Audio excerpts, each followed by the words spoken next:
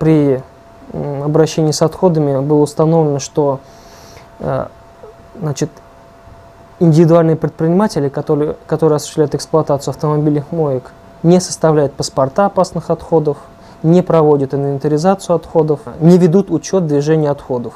То есть нету, э, не прослеживается э, на основании каких договоров, куда отходы передаются, в каком количестве и что с ними происходит.